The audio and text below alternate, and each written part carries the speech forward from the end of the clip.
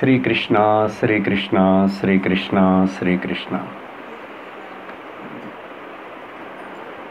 गुरुर्ब्रह्मा गुरुर्विष्णुः गुरुर्देवो महेश्वरः गुरुस्साक्षात् परं ब्रह्म। तस्मै श्रीगुरवे नमः। तस्मै श्री గురవే నమ హరి ఓం తత్సత్. కొంచెంసేపు నామ సంకీర్తనం చేస్తాం. ఇంకెవరన్నా రావాల్సిన వాళ్ళు వస్తారు. రెండే నిమిషాలు. నామ సంకీర్తనం ఆనందంగా చెప్పండి హృదయంలోంచి చెప్పండి. చేతులు కూడా కొంచెం కొంచెం శబ్దం చేస్తూ చెప్పచ్చు. నా తాళంతో నారాయణ నారాయణ నారాయణ.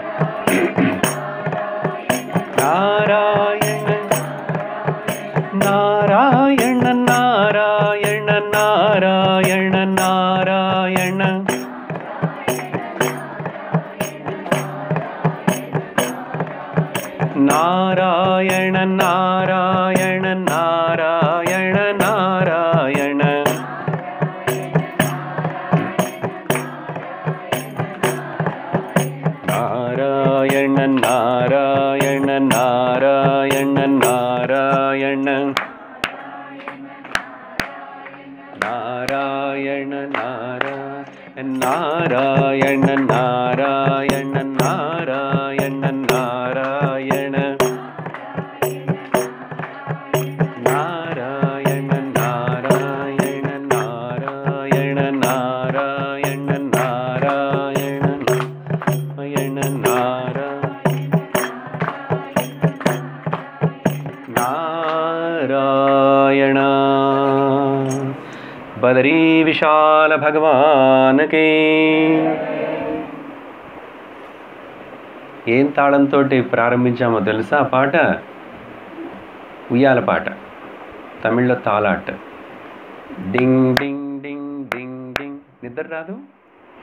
ఇప్పుడు కథ చెప్పే నాకు ఆయాసం రాకుండా ఉండాలి. కథ వినే వాళ్ళకి మీకు నిద్ర రాకుండా ఉండాలి. తినంగానే కథ చెప్పాలంటే ఆయాసం రాదు? కానీ చెప్తున్నాం. నిద్ర రాదులేండి. కథ వినటానికి అందరికీ ఇష్టమే కదా. అందరు వచ్చారా? తెలీదు. సరే. శ్రీమద్ భాగవత మహాపురాణంలో వచ్చేటువంటి ఒక శ్లోకంతో నేను ప్రా ఆరంభం చేస్తాను. అది వినండి. తర్వాత నిదానంగా విషయంలోకి వెళ్తాం మనం. सच्चिदानन्दरूपाय विश्वोत्पत्त्यादिहेतवे तापत्रयविनाशाय श्रीकृष्णाय वयं नुमः। कृष्णाय वासुदेवाय देवकीनन्दनाय च नन्दगोपकुमाराय गोविन्दाय नमो नमः। नमः पङ्कजनाभाय नमः पङ्कजमालिने नमः पङ्कजनेत्राय नमस्ते पङ्कजाङ्घ्रये योऽन्तः प्रविश्य मम वाचमिमां प्रसुप्तां सञ्जीवयद् अखिलशक्तिधरस्वधाम्ना अन्यां च हस्तचरणश्रवणत्वगादीन् प्राणान्नमो भगवते। पुरुषाय तुभ्यं प्राणान्नमो भगवते। पुरुषाय తుభ్యం సర్వత్ర గోవిందనామ సంకీర్తనం హరి ఓం శ్రీమద్భాగవత మహాపురాణం చాలాసార్లు చాలామంది మీరు అక్కడక్కడ కథలు వినుంటారు. ఎంత విన్నానో మళ్ళీ మళ్ళీ వినాలనిపించేటువంటి ఒక సముద్రం లాంటి పురాణం. సముద్రానికి అంతం లేదు. సముద్రం యొక్క లోతుకి అంతం లేదు. సముద్రంలో ఎట్లాగైతే అనేకమైనటువంటి రత్నాలు ముత్యాలు అన్నీ దొరుకుతాయో అట్లాగే ఈ సముద్రంలో కూడా భాగవతం అనే సముద్రంలో రత్నాల్లాంటి రాజులు ముత్యాల్లాంటి మునులు వజ్రాలు లాంటి వైడూర్యాలు లాంటి వరాలు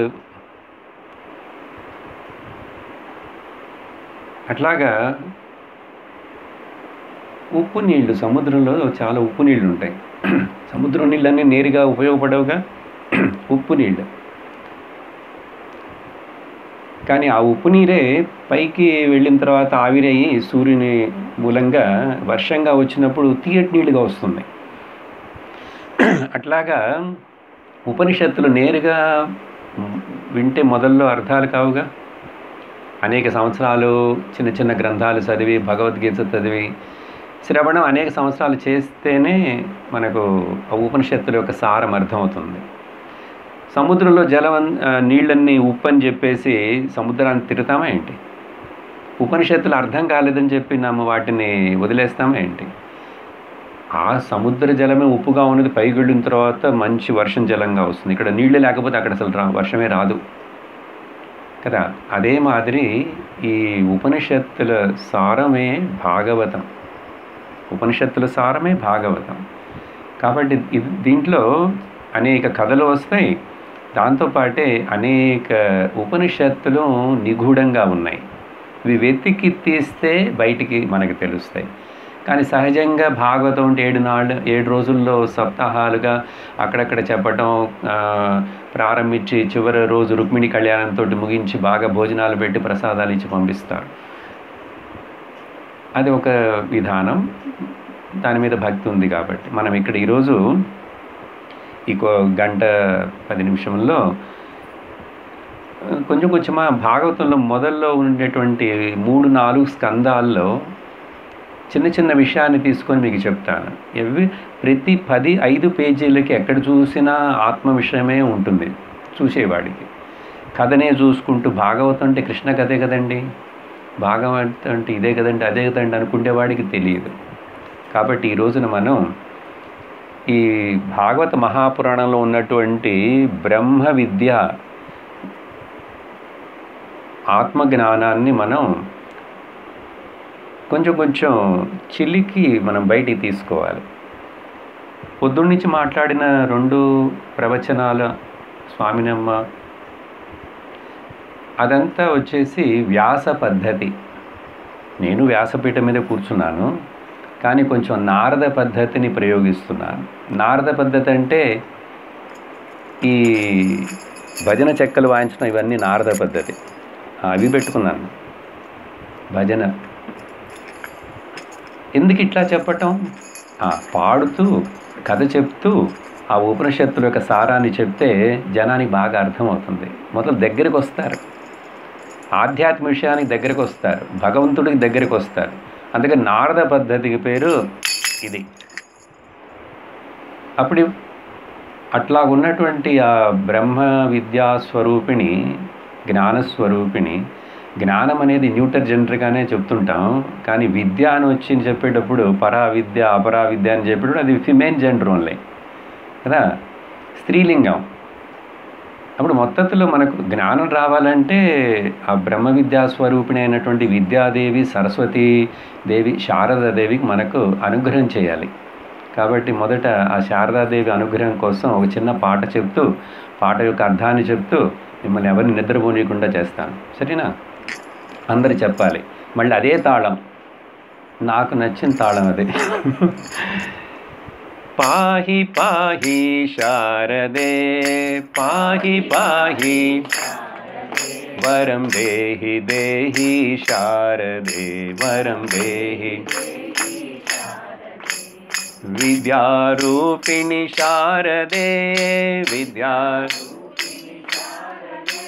విద్యాం దేహి శారదే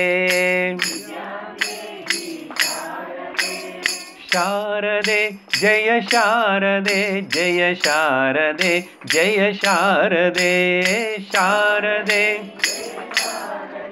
జయ శారదే జయ శారదే శారదా శం శం కరోతి ఇది శివ అని చెప్తాం శం దదాతి శారద మంగళం ఆనందం. మనందరికీ భద్రం మంచిని చేసేటువంటిది. శారదే ఓ శారదాదేవి సరస్వతికి ఇంకొక పేరు శారద. సో శారదాదేవి నీకు నేను పాదాలకు నమస్కరించి నీ దగ్గర నుంచి కూర్చున్నాను. పాహి పాహి శారదే. నాకు వరం వరం దేహి దేహి వరం ఇవ్వు ఇవ్వు నాకు. ఏం వరం ఇవ్వాలి? జ సాధారణంగా దేవుణ్ణి ప్రార్థించేటప్పుడు నా తెలుగు అర్థమవుతున్నదా? అక్కడక్కడ తమిళ పదాలు వస్తుంటే జాగ్రత్తగా ఉండండి. చాలా రోజుల తర్వాత కష్టపడి తెలుగు మాట్లాడుతున్నాను. కష్టంతో. ఏంటి రోజు నా క్లాసులన్నీ తమిళ్ళో ఉంటాయి లేకపోతే ఇంగ్లీష్లో ఉంటాయి. సరే ఒక భాగ్యం తెలుగులో మాట్లాడటానికి. కాబట్టి నాకు వరం సాధారణంగా దేవుడి దగ్గరికి వెళ్ళినప్పుడు వరం అంటే మా ఇల్లు బాగా చూడు మా పిల్లల్ని బాగా చూడు నా ఉద్యోగం బాగా చూడు నా ఆరోగ్యం బాగా చూసుడు దానికోసం నువ్వు నాకు సహాయం చేయాలని భగవంతుడిని కోరుకుంటాం కదా. ఇక్కడ ఏం వరం అడుగుతాం? విద్యాస్వరూపమైనటువంటి శారదాదేవి దగ్గర శారదాదేవి దగ్గరికి వెళ్ళినప్పుడు విద్యను అడగాలి. విద్యను అడుగుతున్నాం. కానీ ఆ విద్యలో కూడా మళ్ళీ లోక విద్య పరా విద్య రెండు ఉన్నాయి కదా. లోకంలో విద్య కంప్యూటర్ తెలుసుకోవాలి ఫిజిక్స్ తెలుసుకోవాలి కెమిస్ట్రీ తెలుసుకోవాలి అది తెలుసుకోవాలి ఇది తెలుసుకోవాలి అనేటువంటి విద్యలు చాలా ఉన్నాయి. అవన్నీ ఏంటి? పొట్టకూటి విద్యలు అని చెప్పేసి చెప్తారు చాలాసార్లు. వినుంటారు. పొట్టకూటి విద్యలు. దాంతో డబ్బులు సంపాదించుకోవచ్చు ఇల్లు కట్టుకోవచ్చు. ఆ విద్య నాకు ఉపయోగపడుతుందా? మనసుకి శాంతినిస్తుందా? రక్షణ ఇస్తుందా? తర్వాత సుఖం ఇస్తుందా? ఇస్తున్నట్లుగా ఉంటుంది కానీ ఇవ్వవు. అప్పుడు ఏది ఇస్తుందంటే పారమార్థిక విద్యే ఇస్తుంది. ఆ పారమార్థిక విద్య గురించి పొద్దున్నుంచి మనం వింటున్నాం. భాష రూపంలో భగవద్గీత రూపంలో అన్నిట్లో కాబట్టి ఇక్కడ ఏమడుతున్నావు అంటే విద్యను అడిగాను. నువ్వు విద్యా స్వరూపం కాబట్టి నాకు విద్యను అని అడిగాను. కానీ నేను కొంచెం తెలివితోటి అడుగుతున్నాను. జ్ఞానరూపిణి శారదే జ్ఞానరూపిణి. జ్ఞానం దేహి శారదే జ్ఞానం దేహి శారదే జయ శారదే జయ శారదే జయ శారదే శారదే జయ శారదే జయ శారదే నాకు బుద్ధి ఉంది. నేను జంతువులాగా జీవించను ఈ శరీరంలో. జంతువు చేసేవన్నీ నేను చేస్తున్నాను. కానీ నేను ఇంక ఎక్స్ట్రా జ్ఞానాన్ని సంపాదించడం కోసమే మనుషుడికి బుద్ధి. శ్లోకంలో చెప్పారు కదమ్మా? ఆ బుద్ధిని బుద్ధి అందరికీ ఉంది బుద్ధి అందరూ ఉపయోగించరు. ఆ బుద్ధి ఉపయోగిస్తే జ్ఞానం సంపాదించడం కోసం. ఇక్కడ జ్ఞానం అంటే ఒకటే. భగవద్ జ్ఞానం పరమాత్మ జ్ఞానం లేకపోతే ఆత్మ జ్ఞానం ఇంకా వేరే ఏం లేవు. సంస్కృతంలో జ్ఞానం అంటే ఒకటే ఇదే. విద్య అంటే చాలా వస్తాయి. పరా విద్య అపరా విద్య అన్నీ వస్తాయి. లౌకిక విద్యలు వస్తాయి. సో జ్ఞానం. సో నీవు జ్ఞాన స్వరూపిణివి అందుకే నిన్ను నేను అడుగుతున్నాను కోరుచున్నాను నాకు జ్ఞానం ఇవ్వు అని అడుగుతున్నాను. సరే జ్ఞానం ఇవ్వని అడిగాను నువ్వు శాంక్షన్ చేయి. శాంక్షన్ చేసినా కూడా ఎట్లా శాంక్షన్ చేస్తావు నువ్వు? నువ్వు నేరుగా వచ్చి చెప్పవు. ఎవరైనా చూసారా సరస్వతీదేవిని? ఫోటోలో చూసి ఉంటారు. ఎట్లా వస్తావంటే నువ్వు హంసవాహిని హంసనాదిని హంస పూజిత శారదే. హంసవాహిని నువ్వు ఎట్లా వస్తావంటే నా జీవితంలో నన్ను సరిచేయటం కోసం హంస మీద కూర్చొని వస్తావు. హంస మీద అనేది మనందరికీ తెలుసు సరస్వతిదేవి హంస మీద ఉంటుంది. ఆవిడ యొక్క వాహనం హంస. ఇక్కడ హంస అనేటువంటిది మనం ఎవరూ చూడలే. అది స్వర్గలోకంలో ఉండేదో సెలెస్టియల్ బర్డ్. పురాణంలో చెప్పబడే ఒక పక్షి గురించి అది. కానీ వినుంటాం ఆ హంసకి పాలుని నీళ్ళని వేరు చేసేటువంటి శక్తి ఉన్నది. కాబట్టి ఇక్కడ హంస అంటే గురువు పరమహంస. హంస ఎవరంటే ఆ జ్ఞానాన్ని తెలుసుకొని వివేకంతో పాలుని నీళ్ళని వేరు చేసినట్లుగా అనాత్మని వేరు చేసి ఆత్మని అనుభవించినటువంటి గురువు మూలంగా నువ్వు వాహనముగా తీసుకొని నా దగ్గరికి వస్తావు అంతే కదండి. గురువు వచ్చి జీవితంలో మనకు ఉపదేశం చేస్తే తప్ప ఎన్ని పుస్తకాలు మన పొందు పెట్టుకున్నాను సరే నేను పిహెచ్డి చదివినాను సరే జ్ఞానం రాదు రాదు రాదు. రాదు. ఇది సత్యం. అందుకని హంసవాహిని ఆ గురువు రూపంలో నువ్వు వస్తావు. అప్పుడు మనిషికి జీవితంలో గురువు అనేది ఆధ్యాత్మిక గురువు అనేది ఉండటం అనేది ఎంత ముఖ్యమో తెలుస్తుంది ఇప్పుడు? ఆ వచ్చిన తర్వాత ఏమవుతుంది? గురువు వచ్చారు. గురువుని నమస్కారం మాత్రం చేస్తాను. గురువుని దూరం నుంచి దర్శనం చేసుకుంటాను. మా ఇంట్లో ఫోటో పెట్టుకుంటానంటే జ్ఞానం రాదు. లోకంలో చాలామంది అట్లా చేస్తున్నారు ఇప్పుడు. అది మంచిదే. ఏదో ఒక భక్తి ఉంది వాళ్ళ మీద. కానీ ఆ గురువు మాట్లాడితేనే కదా నోరు తెరిచి నోరు తెరిచి మాట్లాడాలి. అప్పుడు ఆ విద్యని మనకు ఉపదేశించాలి మనకు అర్థమయ్యేట్లుగా చెప్పాలి. అప్పుడు హంస మీద ఆ గురువు మూలం గురువుతో మూలంగా వచ్చినటువంటి నువ్వు ఆ గురువు నోరు తెరిచి ఆ గురువు పలికే వాక్యాల మూలంగా నాకు అందుతావు. హంస హంస వాహిని హంస నాదిని ఆ గురువు మాట్లాడేటువంటి శబ్దాల మూలంగా నాదం శబ్దం మౌనంగా గురువు కూర్చోవచ్చు. దక్షిణామృత స్వామి మౌనంగా కూర్చున్నాడు. కానీ ఆ ముందు కూర్చున్న వాళ్ళందరూ ఉత్తమ అధికారులు. అందుకని గురువు మౌనంగా కూర్చున్నా కూడా అక్కడికి అర్థానికి అర్థమైపోయింది. ఆ యుగం వేరే. ఇది కలియుగం. మనకు ఎంత చదివినా కూడా ఏమీ అర్థం కాదు అంతే. ఈ మందమతులు కదా మనకు? కలియుగం యొక్క ప్రభావం అట్లాగుంటుంది. కొంచెం కొంచెం శ్రమ చేస్తే ఆ బుద్ధిని మనం షార్పన్ చేసుకోవచ్చు పదును పెట్టుకోవచ్చు. అందుకని ఆ వినటం ద్వారా హంసనా హంసవాహిని హంసనాదిని హంస పూజితే శారదే శారదే జయ శారదే జయ శారదే జయ శారదే.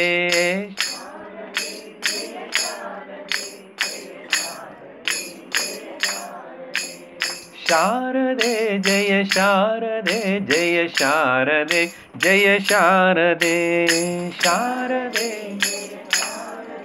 జయ శారదే జయ శారదే జయ శారదే జయ శారదే. సరస్వతీ మయ్యాకి. సో జ్ఞానస్వరూపిణి సరస్వతి దేవిని మనం వే కోరుకున్నాం. మనందరికీ జ్ఞానం తప్పకుండా వస్తుంది. వచ్చింది. భాగవత మహాపురాణంలో ఈ మొదటి స్కందంలో కలియుగం ప్రారంభమైన కొద్ది సంవత్సరాల తర్వాత ఏం జరిగిందనేటువంటి విషయాన్ని ఇక్కడ చెప్పబడింది ఓకే నేను ரொம்ப షార్ట్ కట్గా అట్లా అట్లా వెళ్తుంటాను మీకు విషయాన్ని అందజేస్తాను ఐదు వేల ఐదు వందల సంవత్సరాలకు ముందు కలియుగం ప్రారంభమై కృష్ణ పరమాత్మ యొక్క అవతారం ముగించిపోయి ఆ- అదే సమయంలో వ్యాసుడు ఆ, భారతం రాసి దాంతోపాటే ఈ భాగవతాన్ని రాసి ప్రజలకు అందించారు. రాబోయే ప్రజలకి కలియుగంలో కలహం ఎక్కువగా ఉంటుంది. పోట్లాటలు మిస్అండర్స్టాండింగ్లు రాంగ్ అండర్స్టాండింగ్లు నో అండర్స్టాండింగ్లు జాస్తిగా ఉంటాయి ఎక్కువగా ఉంటాయి. అందుకని వీళ్ళందరికీ దోవ చూపించాలంటే రెండు కళ్ళు కావాలి. దోవ చూడాలంటే రెండు కళ్ళు. ఒక కన్ను ఉంది కదండి నేను నడుస్తున్నానంటే పర్వాలేదు నడుస్తావు కానీ జాగ్రత్తగా నడవాలి. అందుకని ఈ కలియుగంలో ఉన్న ప్రజలకి రెండు కళ్ళు ఏంటంటే భగవద్గీత భాగవతం. ఈ రెండుని విన్ ఇదేంటంటే కథ రూపంలో ఉంది కాబట్టి ఎక్కువ మంది పిల్లలు వినొచ్చు పెద్దవాడు వినొచ్చు అందరు వినొచ్చు. ఆ తర్వాత కొంచెం పై స్టెప్లో భగవద్గీతని వింటాం. భగవద్గీతలో పై స్టెప్ భాష్యం వింటున్నాము మనం ఇక్కడ.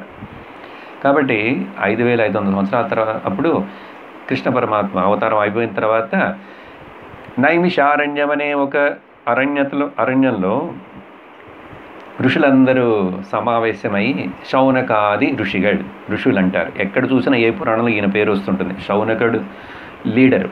ఇప్పుడు మీరు ఇంతకు ముందున్నారు కదా ఇక్కడ శాంతమ్మ గారిని సుధామ గారిని లీడర్గా పెట్టారు కదా అట్లాగా ఆ ఋషులందరికీ శౌనకుడు లీడర్. అక్కడ చాలామంది ఋషులు చేరున్నారు. చేరి వాళ్ళందరూ వాళ్ళ వాళ్ళ యజ్ఞము యాగములు పూజలు అవన్నీ చేసుకుంటూ అట్లా ఉంటున్నప్పుడు అక్కడ సూత మహాముని వచ్చారు. ఆ సూత మహాముని దగ్గర అడుగుతున్నారు మనలాగానే ఇట్లా భోజనం అయిన తర్వాత మధ్యాహ్నం ఆ పూజలన్నీ అయి భోజనం అయిన తర్వాత వెంటనే పడుకుంటే అజీర్ణం వస్తుంది కదా. అందుకని మాకు కథ చెప్పండి. కృష్ణ కథ చెప్పండి. ఇప్పుడిప్పుడు జరిగిపోయినటువంటి ఆ కృష్ణ కలియుగం ఆరంభానికి ముందుగా వచ్చిన అవతారం. చాలా బాగుంటాయి ఆ కృష్ణ కథలు చెప్తే వింటూ ఉంటే ఈ కలి యుగం మూలంగా వచ్చేటువంటి బాధలు కష్టాలు దుఃఖాలు అన్నీ తొలగిపోతాయి. అంతే అందుకని మేము అక్కడ ఇక్కడ అందరం చేరాం. మా కథ చెప్పండి. ఆ కథ చెప్పమని అడిగినప్పుడు చాలా శ్లోకాలు ఉన్నాయి. నేను ఒకటొక్కటే తీసుకొని మీకు దాని ప్రాముఖ్యాన్ని మీకు చెప్తున్నాను. ఏం అడుగుతున్నారంటే అక్కడ సూత మహాముని వచ్చి ఇట్లాగే వ్యాసపీఠం మీద కూర్చున్నాడు. సూత మహాముని వచ్చి ఆయనకి ముఖ్యమైన పేరు వచ్చి ఉగ్ర శ్రవస్ వినటంలో చాలా ఉద్దండుడామ ఆయన. మనందరం రెండు చెవులు పెట్టింటే ఆయనకి రెండు చెవులే వెయ్యి చెవులుగా పనిచేస్తాయిట. వినటానికి అంత ఆశపడేటువంటి వాడు అని అర్థం. వాళ్ళ నాన్నగారు ఎవరంటే రోమహర్షుడు. ఆయనకి ఇట్లా కథయో ఏదైనా చెప్తుంటే మహాత్ములు సాధువులు ఎవరిని మాట్లాడుతుంటే ఆయనకి అసలు శరీరం మీద ఉన్నటువంటి రోమాలన్నీ అట్లా ని- నిల్చుంటాయి నిక్కబొడుస్తాయి అంటారు కదా హ్యారిపులేషన్ అవుతుందిట. వాళ్ళ నాన్న పేరు అది అట్లాంటి నాన్నకు పుట్టినటువంటి పిల్లవాడు సాధారణంగా ఉంటాడా ఏంటి? సరే. రోమహర్షుడు యొక్క కుమారుడు సూతుడు సూతుడు ఒరిజినల్ పేరు కాదు ఆ వర్ణం అట్లా. కథలు చెప్పేవాళ్ళు అని అర్థం ఆ రోజుల్లో. పురాణాలన్నిటిని ఆయన ఏంటంటారు? వడగట్టి వాడిని వాడు అన్ని పురాణాలు తెలుసు. దానికి వ్యాసుడు అనుగ్రహం ఇచ్చాడు వాళ్ళ నాన్నగారు అనుగ్రహం చేశారు. దాంతోపాటు ఒక స్పెషల్ అనుగ్రహం ఏంటంటే సూ సుఖమహాముని యొక్క శిష్యుడు. సుఖమహాముని నేరుగా పరీక్షిత్కి భాగవతం చెప్పారనేది అందరికీ తెలుసు.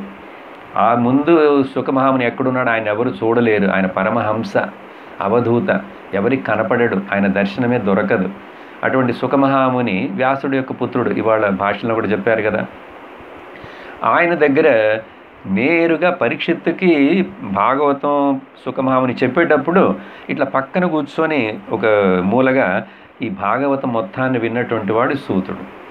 విని అయిపోయిన తర్వాత సుఖమహామునే ఆశీర్వాదం పం చే- చేశారు ఆయనకి. ఏంటంటే ముఖ్య శ్రోతుడు పరీక్షిత్తుడే పరీక్షిత్తు కోసమే నేను భాగవతం చెప్పాను ఇక్కడ ఏడు రోజులు. అతను ఏడు రోజుల తర్వాత ఆ శరీరం వదిలేస్తాడు ఆ పాము వచ్చి కరుస్తుంది చచ్చిపోతుంది. ఇక్కడ సందేహం రావాలి వినేవాళ్ళకి. ఏంటి? అయ్యో ఇంత కష్టపడి తోటి భాగవతం ఏడు రోజులు విని చివరికి ఆ పాము వచ్చి కరిచింది చచ్చిపోయినాడే. అప్పుడు ఎందుకు భాగవతం వింటాం? ఎందుకండి వింటాం? శాపంతో భాగవతం కథ మొదలవుతుంది. ఆ భగవద్గీతలో ఆయన ధృతరాష్ట్రుడు కళ్ళు లేనివాడు మాట్లాడుతున్నాడని అక్కడ మొదలవుతుంది. ఏంటి శుభంగా మొదలు పెట్టచ్చు కదా? బాగా ఒక మంగళసూత్రం కట్టారు. పె- పెళ్ళయింది. డుమ్ డుమ్ డుమ్ డుమ్ డుమ్ అని మొదలు పెట్టచ్చు కదా? అక్కడ శాపం అయిందంటే ఏడు రోజుల్లో చచ్చిపోతాట అంటే ఏంటంటే అందరికీ చావు అనేది ఒకటి వస్తుంది. ఆ చావు వచ్చే రా రావడానికి ముందే శరీరానికి నువ్వు జీవన్ముక్తుడివై చావుని నువ్వు దూరం చేయి. You reject the death. Okay? శరీరంలో నుంచి బయటికి రా. మానసికంగా. అలాంటిది జరిగింది అక్కడ. సరే అక్కడ తెలుసుకోవాలి ఆ విషయం. ఏడు రోజుల్లో చచ్చిపోబోతున్నాడు విన్నాడు భాగవత. ఏంటి ప్రయోజనం? చచ్చిపోయిన తర్వాత పుణ్యం వచ్చిందండి ఆయన స్వర్గానికి వెళ్ళాడండి. ఎవరు చూశారండి? ఇప్పుడు వరకు ఎవరైనా చూసి మీకు చెప్పారా? కథలో చెప్పారు కాబట్టి ఉంటున్నారు. నాకు అవన్నీ వద్దు. నాకు ఇక్కడ ఇప్పుడు జీవన్ముక్తి కావాలి. నవ్ అండ్ హియర్ అంటారు. ఇప్పుడు ఇక్కడ జీవన్ముక్తి కాకపోతే ఆ తర్వాత ఎప్పుడో వచ్చే దాని గురించి ఎందుకు? కాబట్టి ఈ వేదాంత మనల్ని ఈ శరీరం ఉన్నప్పుడే శరీరాన్ని వదిలేయడానికి ముందే ముక్తి అది కావాలి. ఆ ముక్తిని పొందాడు పరీక్షిత్తు. పొందాడు. ఆ తర్వాత శరీరం తక్షకుడు వచ్చి కలిస్తే ఏంటి? ఇంకో పాము వచ్చి కలిస్తే ఏంటి? పోయింది. పోయి- అప్పుడు విషయం ఏంటంటే నువ్వు ఇట్లాగో పరీక్షిత్తు పోతాడు ఈ భాగవతం అనేది లోకంలో ఉండాలి కదా. తర్వాత వచ్చే ప్రజలకి కలియుగంలో ఉండాలి కాబట్టి ఆ సుఖమహాముని అక్కడ విన్నాడు కదా. ఆయనకి ఆశీర్వాదం చేసి ఈ విన్నది మొత్తం నీ బ్రెయిన్లో అట్లాగే మెమరీలో రిజిస్టర్ అయిపోతుందని చెప్పేశారు ఆ సుఖమహాముని. ఆయన ఆల్రెడీ జ్ఞానిదా? జ్ఞాని. అట్లా సుఖమా సూత మహాముని. అది విన్నాడు. ఆ సూతుడు ఇప్పుడు మనకు శౌనకాది భాగవతం చెప్పారు. ఆ చెప్పిందే మనం ఇప్పుడు ఇక్కడ చదువుకుంటున్నాం. అర్థమైందా? అప్పుడు ఏమడిగారంటే పాయింట్ శౌనకాది అందరూ అడిగారు భూరీణి భూరి కర్మాణి శ్రోతవ్యాని విభాగశ బ్రూహి భద్రాయ భూతానాం ఏనాత్మా సుప్రసీదతి? స్ట్రేట్ అవే ఒరే క్వశ్చన్ చాలా అడిగారు మీకు ముఖ్యమైనది చెప్తున్నాను. వేరే చాలా శ్లోకాలు ఉన్నాయి. ఏమడుతున్నారంటే వినటానికి చాలా విషయాలు ఉన్నాయి చేయటానికి చాలా విషయాలున్నాయి. కర్మలు ఉన్నాయిగా ఒకటా రెండ మూడ? లోకంలో అందరు అన్నెన్నో చెప్తారు. ఎన్నో చెప్తారు. ఓకే? అందుకని ఇన్ని ఉన్నాయి కదా వేరువేరుగా వీటిలో బ్రూహి ఏ- ఏం చెప్ ఇది మాత్రం చెప్పండి. ఏం చెప్పాలి? భూతానం ఏన ఆత్మ సుప్రసిద్ధతి. ఏది వింటే ఏది తెలుసుకుంటే ఏది వాళ్ళకి మనస్సుకి శాంతి భయము శాంతినిచ్చి భయాన్ని తొలగిస్తుందో అట్లాంటి విషయాన్ని చెప్పండి అంటున్నారు. చూసారా ఎట్లా ఇంటెలిజెంట్ క్వశ్చన్. ఇట్లాంటిది అడగాలి. ఇట్లాంటిది అడగాలి. వేరే వేరే వరాలు అడుగుతుంటే అవన్నీ పనులు జరగవు. మనస్సుకి శాంతి కావాలి. చెప్పారు కదా ఇవాళ ఆత్యంతిక సుఖం అండ్ భయ నివృత్తి సుఖప్రాప్తి అజ్ఞానం పోను. అది అడుగుతున్నారు ఇక్కడ. అందరి మనుషులకి భూతానాం భద్రాయ వాళ్ళందరికీ మంగళం జరుగుతుందో ఏది వింటే ఏది తెలుసుకుంటే వాళ్ళ మనసులన్నీ ప్రశాంతమై ఆనందంగా ఉండగలరో అట్లాంటి విషయాన్ని చెప్పమని ప్రశ్న వేశారు. ఇప్పుడు ఆ ప్రశ్నకి నేను సమాధానం అదే అన్ని అడిగిన తర్వాత ఇంకా చాలా శ్లోకాలు. అడిగిన తర్వాత ఇప్పుడు సూత మహాముని బదులు చెప్పాలి. ఆ బదులు చెప్పేటప్పుడు సూత మహాముని ఎట్లా ప్రారంభిస్తున్నారు అనేది చూస్తాం. చూడండి. ఆయన గురువు గారికి మొదలు నమస్కారం చేసుకుంటున్నాడు. ఎవరు? సూత మహాముని సుఖ మహామునికి. ఆ శ్లోకం చాలా బాగుంటుంది. యస్వానుభావమఖిల శృతి సారమేకం అధ్యాత్మదీపం అతిథితీర్షతాం తమోంధం సంసారిణాం కరుణయా పురాణగుహ్యం తం వ్యాససూనం ఉపయామి గురుం మునీనాం. ఆ వ్యాస భగవానుడి యొక్క కుమారుడైనటువంటి పేరు చెప్పట్లే గురువు పేరు చెప్పకూడదు. భార్య ఎట్లు భర్త పేరు చెప్పకూడదు. చెప్పరు కదా ఆ రోజుల్లో ఇప్పుడు కూడా చెప్పరు చాలామంది. మోడర్న్ వేరే అనుకోండి వాడా పోడా హాయ్ డాయ్ అంటుంటాడు ఫోన్లో. అక్కడ గురువు పేరు చెప్పడానికి కూడా చెప్పకుండా వ్యాసుడి యొక్క పుత్రుడైనటువంటి నా గురువు అంటున్నారు. అటువంటి ఎవరు ఆయన అంటే మునులకే ఆయన గురువు అందరు ఋషులకే గురువు అటువంటి గురువు. ఏం చేశారు ఈయన? ఎస్ స్వానుభావం. స్వ అనుభవం ఉండాలి. అఖిల శృతి సారం ఏకం. అన్ని శాస్త్రాల యొక్క సారం.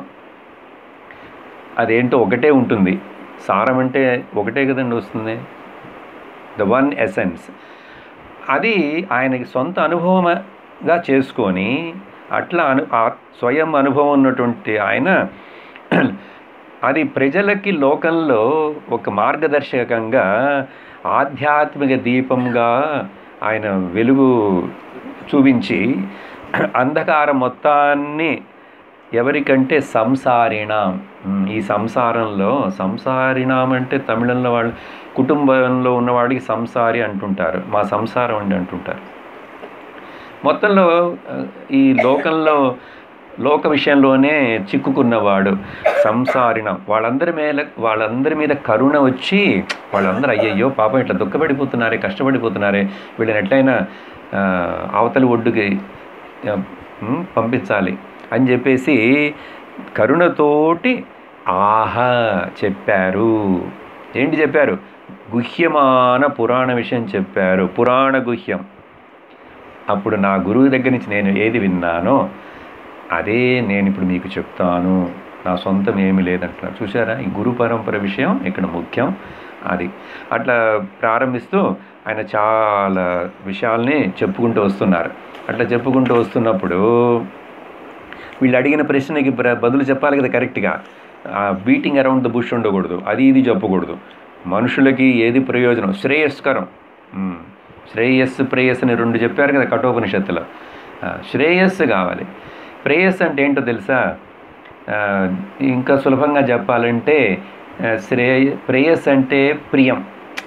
నాకు నచ్చుతుంది బాగుంది.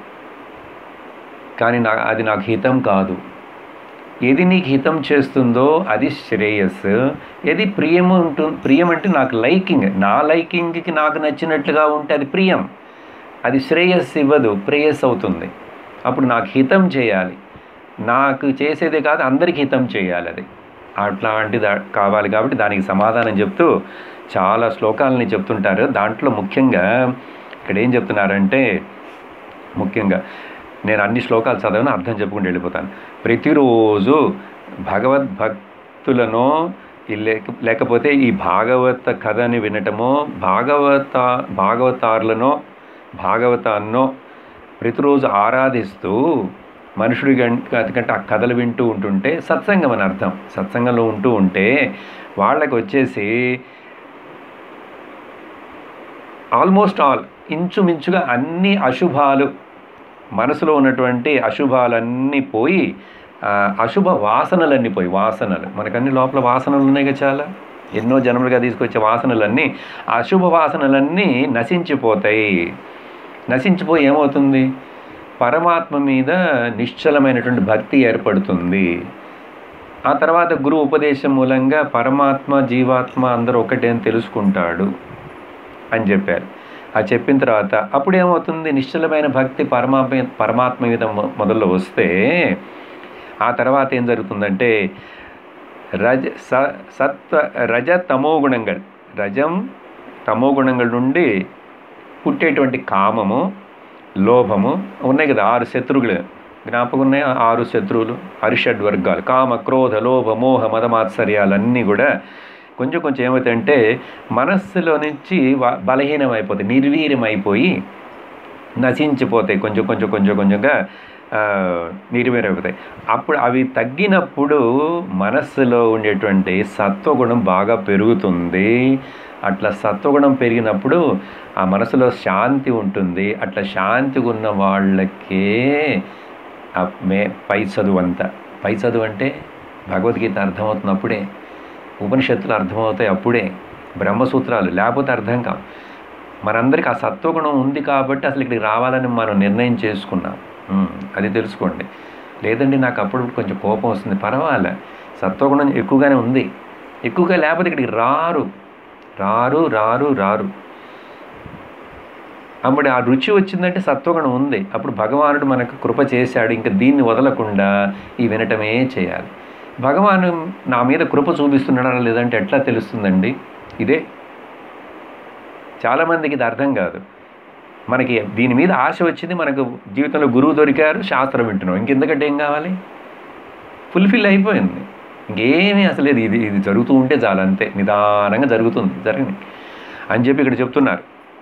ఇప్పుడు ఇక్కడ చెప్పే పాయింట్లన్నీ మన జీవితంలో చూసుకోవాలి. ఎక్కడెక్కడ ఎక్కడ లింక్ అవుతున్నాయని. నేను అందుకని వేదాంతం వినటానికి మీరు వచ్చారు కాబట్టి నేను అన్ని ఎక్కువ కథ రూపంలో చెప్పకుండా కొంచెం కొంచెం కథ ఎక్కడ జరిగిందని కనెక్ట్ చేస్తూ విషయాన్ని చెప్తున్నారు అందుకని ఆ తర్వాత ఏమవుతుందనేది వేరే శ్లోకంలో చెప్తున్నారు. ఈ భక్తి భగవంతుడి మీద ఏర్పడినప్పుడు సాదా దాంతో ఆటోమేటిక్గా గురువు మీద భక్తి ఉంటుంది శాస్త్రం మీద భక్తి వచ్చింది. సా సత్వగుణం బాగా వృద్ధి అయింది. అప్పుడు శాస్త్రం వింటూ వింటుంటే సంసారం మీద ఉండేటువంటి ఆసక్తులన్నిటినీ కొంచెం కొంచెంగా విడిచిపెడతారంటున్నారు. ఎవరు ఒక్కసారి వదిలేరు. ఎవరు ఎవరో ఒకళ్ళు సూకుడు లాంటి వాడు లేకపోతే ఇప్పుడు అమ్మ ఇవాళ భాషలు వింటున్నట్లు బ్రహ్మచర్యుల నుంచి గృహ వా- సన్యాసికి వెళ్ళేవాళ్ళు కొంచెం మందే. అని మెజారిటీ చూస్తే అందరూ ఈ ప్రాసెస్లోనే వెళ్ళాలి. గృహస్థులై తర్వాత అట్లా వెళ్ళాలి. గృహస్థులను కూడా కృష్ణ పరమాత్మనే అభినందిస్తారని చెప్పారు కదా. ఆ మూడు నాలుగు అధ్యాయానికి వెళ్ళిన తర్వాత అక్కడ చూస్తే గృహస్థ జ్ఞాని గురించి విషయం చెప్తారు. గృహస్థ ఉండి నువ్వు జ్ఞానిగా అవ్వచ్చు అంటారు ఆయన. అదన్నీ జాగ్రత్తగా వినాలి వింటేనే అర్థమవుతాయి. ఇంకొకటి సందేహం సందేహం కాదు పాయింట్ ఏంటంటే ఇప్పుడు గృహస్థనే లేకపోతే పెళ్ళి చేసుకొని ఎవరైనా మోక్షం పొందాలని జీవుడు నేను ఎట్లా పుడతాను?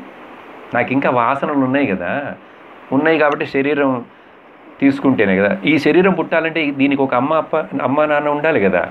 ఇప్పుడు ఒక అమ్మ నాన్న గృహస్థుడిగా ఉంటే ఏం తప్పైంది ఇప్పుడు? అవి లేకపోతే నేను ఎట్లా సన్యాసం తీసుకుంటాను? అసలు నేను ఎట్లా పుడతాను? నేను పుట్టకపోతే అందుకని జీవులు ఎవరెవరు ఇంకా ముక్తి పొందలేదో వాళ్ళందరూ పుట్టడానికి ఇక్కడ భార్యాభర్తలు ఉండాలి. అందుకని గృహస్థుడు వివాహం అనేటువంటిది ఒక్క ఏ ఏ విధంగా చూసినా కూడా అది తక్కువేమీ కాదు. అందుకని ఋషులందరూ గృహస్థులే. అందరూ ఆల్మోస్ట్ ఎక్కడ కొంచెం మంది ఇది సుఖమహామునిలాగా వెళ్ళేవాళ్ళు అందరు. అట్లా ఉండి వాళ్ళు జ్ఞానులు ఉన్నారు. అందుకని గృహస్థునిగా ఉండటం తప్పు కాదు. జ్ఞానం కోసం ప్రయత్నం చేయకపోవడం తప్పు. అంతే. So simple. అర్థమైంది? ఎందుకంటే ఆ పురుషార్థాలు తెలియలేదు. ఆశ్రమ ధర్మాలు మర్చిపోయినాం.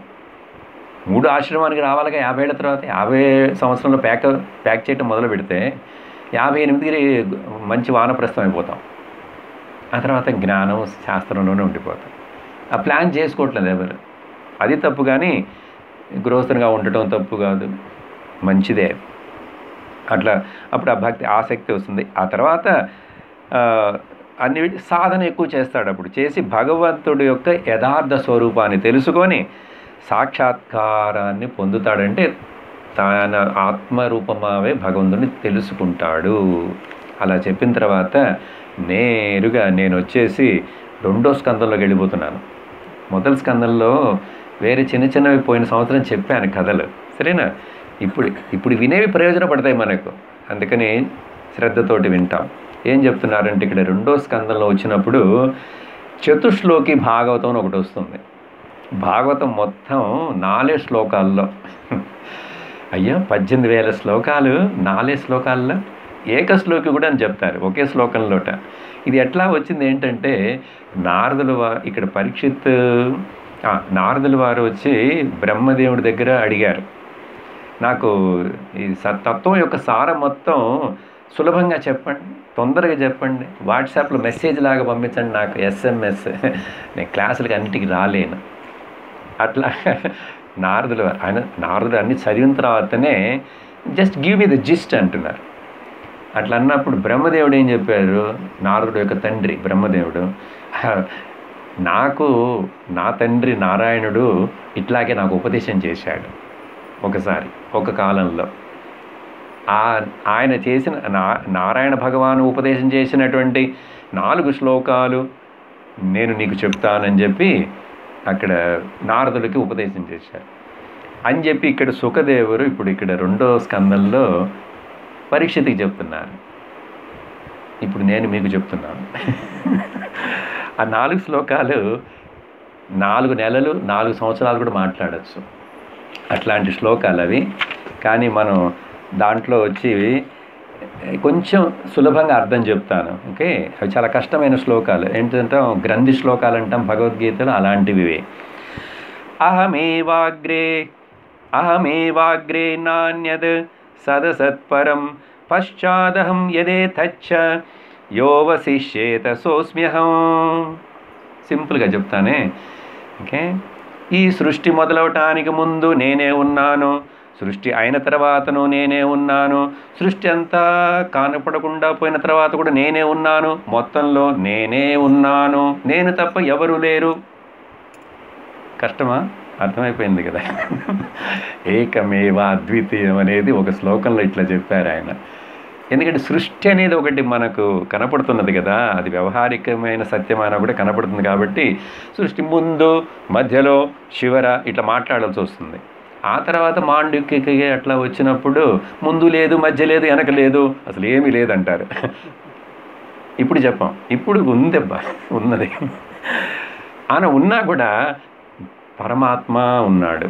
నేను తప్ప ఏమీ లేదంటున్నాడు. అంటే అర్థం అంటే అంతే ఏకమేవ అద్వితీయానికి ఇక్కడ ఇట్లా చెప్తున్నారు. నారాయణ పదానికి అర్థం చెప్పాను పోయిన సంవత్సరం మళ్ళీ జ్ఞాపకం చేస్తాను. నారం అంటే జ్ఞానం. జ్ఞానస్వరూపమైనటువంటి జ్ఞానమే మార్గంగా ఉన్నటువంటి ఆ విషయానికి పేరు నారాయణ. అంతేగాని నాలుగు చేతులు ఉన్నాయా వెయ్యి చేతులు ఉన్నాయా ఆయన ఎక్కడ పడుకున్నాడు ఎక్కడున్నాడు అవన్నీ మనకు మనసుకి కావాల్సినట్టుగా కల్పన. అందుకని నారాయణ అంటున్నానంటే భా జ్ఞానం జ్ఞానం జ్ఞానం జ్ఞానందా ఉంది సత్యం జ్ఞానం అనంతం బ్రహ్మ. అందుకని ఆ జ్ఞానాన్ని గురించి చెప్పారు. చెప్పి ఋతేర్థం యత్ ప్రతీయేత న ప్రతీయేత చాత్మని తద్విద్యాదాత్మనో మాయాం యదా భాసో యథా తమః. ఆ తర్వాత నా సృష్టిలో ఎందుకు ఇట్లా రెండుగా కనపడుతున్నాయి? మిథ్య లేనిది ఉన్నట్లుగా కనపడుతుంది. అంటే ఆయన ఏం చెప్తున్నారంటే ఇక్కడ ఉదాహరణ నీ చంద్రుని చూసేప్పుడు ఆకాశంలో చే వేలు ఇట్లా పెడితే రెండుగా కనపడుతుంది చంద్రుణ్ణి.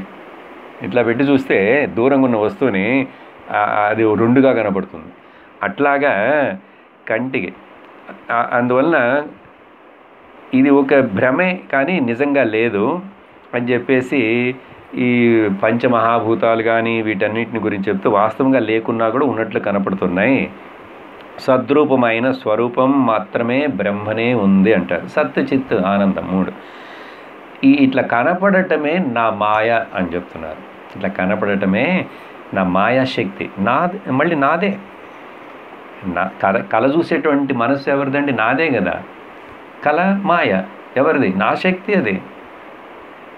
అది చెప్పి యథా మహాంతి భూతాని భూతేషుశ్చావశేషుసు ప్రవిష్టాన్యప్రవిష్టాని తదా తేషు నతేష్వహం. భగవద్గీతలో గ్రంథి శ్లోకంలాగా ఇక్కడ కొంచెం లిటిగేషన్ తోటి చెప్తున్నారు. ఏం చెప్తారంటే ఈ పంచమహాభూతాలు ఇవన్నీ నాలోంచి వచ్చినాయి కానీ అవన్నీ నాలో లేవు నేను వాటిలో లేనంటున్నారు. ఇవన్నీ అర్థం చేసుకోవాలంటే ఇప్పుడు రాత్రి తొమ్మిదింటికి అర్థం కావు. అవన్నీ భగవద్గీత నిదానంగా చదివితే ఎగ్జాక్ట్లీ ఈ శ్లోకాలే కదా అక్కడ భగవద్గీతలో ఓకే? నా సతో విద్యతే భావ నా భావ అవన్నీ చదివి ఉన్నారు కొంతమంది మీకు ఆనందిస్తారు ఇప్పుడు ఇట్లా చెప్పడం వల్ల. అందుకని ప్రవిష్టాని అప్రవిష్టాని. I looks like I entered into them but in fact Satyam uh, నిజం చెప్పాలంటే నేను వాటిల్లోకి ఎంటర్ అవ్వలేదు. అసలు ఏంటంటే అర్థం? ఏమీ జరగలేదు జరుగుతున్నట్లు కనపడుతున్నది అంటారు ఇది సార్ ఇది అర్థం కాదండి. ఇదే మా కష్టంగా ఉంది. జరుగుతున్నది జరిగినట్టు అలా జరగట్లేదు అంటారు ఇది భగవానుడే చెప్తున్నాడు అట్లా. అట్లా చెప్పేసి ఆ శ్లోకం అయిన తర్వాత ఇప్పుడు ముగిస్తున్నారు. నాలుగో శ్లోకం చతుశ్లోకి భాగవత నాలుగు. ఏ తావదేవ జిజ్ఞాస్యం తత్వ జిజ్ఞాసునాత్మన అన్వయ వ్యతిరేకాభ్యాం యత్ సర్వత్ర సర్వదా. ఇప్పుడు కంక్లూషన్ చేస్తున్నారు. ఇంతేదా తెలుసుకోవలసిన విషయం? ఇంతకంటే ఎక్కువ ఏమీ లేదు. తత్వం తెలుసుకోవాలని జిజ్ఞాస ఉన్నటువంటి వాళ్ళకి వాళ్ళ మనసును ఉపయోగించి బుద్ధిని ఉపయోగించి గురువు దగ్గర కూర్చొని ఈ శాస్త్రాన్ని వింటూ ఇదో అన్వయం వ్యతిరేకాభ్యాం. ఎక్లూడింగ్ అండ్ ఇంక్లూడింగ్ అన్నీ చేర్చుకో అన్వయం. అన్నిటినీ తీసే వ్యతిరేకం. అంతే. అంతే కదా సింపుల్గా చెప్పాలంటే. తమిళ్ళో వచ్చే ఎల్లామే తళ్ళు తళ్ళు అని. తమిళ్ తెలిసిన వాళ్ళకి. ఎల్లని ఎల్ల కొళ్ళు. ఎల్ల ఎత్తుకో. By this way or that way no problem but మనకి సత్యం తెలుస్తుంది ఇది సర్వత్ర సర్వదా అన్నిట్లోనూ అన్ని వేళలో ఎప్పుడు ఇది ఇది చేసి ఈ ప్రక్రియని ఉపయోగించి సత్యంలో నిలుచోను సత్యంలో ఉండు జ్ఞాననిష్టనుగా ఉండు అంటారు అట్లా చతుశ్లోకి భాగవతాన్ని చెప్పి అక్కడ రెండో అధ్యాయంలో ఈ భాగవతం పురాణానికి ఏ పురాణమైనా సరే పది లక్షణాలు ఉండాలిట. పురాణం అంటే ఈ పది విషయాల గురించి మాట్లాడాలి అది. అలా మాట్లాడేటప్పుడు ఇక్కడ ఒకే ఒక శ్లోకంలో ఆ పది అంటే అనేది మాత్రం జ్ఞాపకం చేస్తాను. సరే ఏం చెప్తున్నారంటే భాగవతం సర్గ విసర్గ స్థానం పోషణం ఊతిభి మన్వంతర ఈశానుకథ నిరోధం ముక్తి ఆశ్రయం అనే పది విషయాలు ఉంటే అది పురాణం. దాంట్లో కూడా మహాపురాణం భాగవత మహాపురాణం అని చెప్పేటువంటి పేరు దీనికి ఇచ్చారు. ఆ పది ఉన్నాయి దీంట్లో. అర్థమైపోయింటే మీకు. సర్గ అంటే సృష్టి అండి. ప్రతి సర్గ అంటే ఉన్నదాన్ని మళ్ళీ అన్నీ కలిపి బేల్పూరి చేస్తారు కదా మీరు? ఉన్న మరవరాలు కొనుక్కొచ్చి అదేంటి?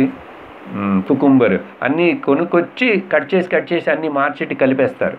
అట్లాగా బ్రహ్మదేవుడు విసర్గ చేస్తాడు. విసర్గ అంటే ప్రతి సృష్టి. సృష్టి ప్రతి సృష్టి. బ్రహ్మ దేవుడు మనల్ని సృష్టితే మనం పిల్లల్ని సృష్టిస్తున్నాంగా? ప్రతి సృష్టి. సో ఆ- విషయాలన్నీ చెప్పబడ్డాయి. ఇవి వివరంగా చదివితే తెలుస్తుంది. నా ఐదో స్కందంలో మొత్తం సృష్టి అవతారాలు ఎన్ని అవతారాలు? పది కాదు. అనేకమైన అవతారాలు ఉన్నాయిట. చిన్నవి పెద్ద అవతారాలు పూర్ణ అవతారాలు అన్నీ కూడా. అలాంటి దాంట్లో ఒక అవతారాన్ని కొంచెం వినబోతున్నాం. సరే ఆ తర్వాత వాటి వాటి స్థానాలు ఎక్కడెక్కడ ఉన్నాయి ఏ లోకాలు ఎక్కడున్నాయి ఈ విషయాలన్నింటినీ మేల పై లోకాలు కింద లోకాలు పద్నాలుగు భువనాలు అన్నీ చెప్తుంది కదా పురాణాలు. అవి చెప్పి. ఇవన్నీ ఎట్లా పోషణ జరుగుతున్నది? ఎట్లా నడుస్తున్నాయి ఇవన్నీ? ఆ విషయాలు చెప్పాలి. తర్వాత ఇక్కడికి వచ్చే జీవులు ఈ కథలని వస్తువులంటే ఓకే.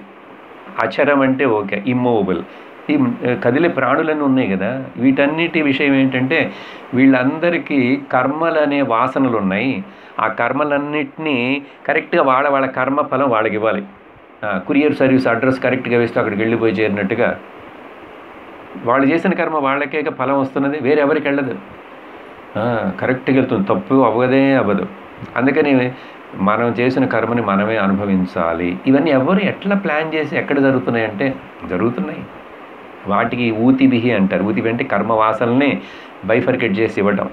సరే మన్వంతరాలంటే కాలంలో పెద్ద స్కేల్ టైం స్కేల్ ఉన్నాయి. మన్వంతరం ఇప్పుడు స్వయంభూ మన్వంతరం ఆరం ప్రారంభించి ఇప్పుడు వైవస్వత మన్వంతరం జరుగుతున్నది. తర్వాత ఆ, తర్వాత ఈ భగవంతుడి కథలు ఉండాలి. ఈ దీంట్లో అవతారాలన్నీ ఉన్నాయి కథలన్నీ ఉంటాయి. ఆ కథలు వినంగా నిరోధం.